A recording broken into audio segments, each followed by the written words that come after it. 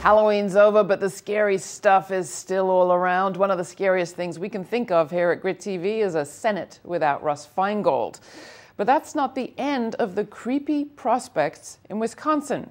David King, the Republican nominee for Secretary of State of Wisconsin, is running for a statewide constitutional office that is second in line to the governorship after the lieutenant governor. And he's accused of rape. A Tea Party favorite who appears at events with Ron Johnson, Feingold's challenger for the Senate, King, who calls himself Apostle David King and runs a ministry called Milwaukee God Squad, has been sued by a woman who claims he got her so drunk that she passed out and then he got her pregnant.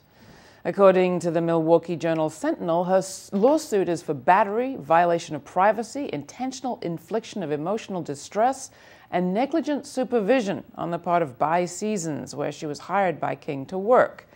He's denied the charges, of course, and it'll be months before we know the truth, but it is noteworthy that this story has been out there in the Sentinel for days with no national pickup.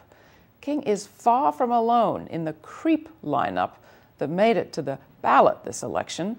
There's Rich Iott, the Republican Tea Party nominee for Congress from Ohio's 9th, who'd like to dress up as a member of the Waffen SS and called it harmless fun.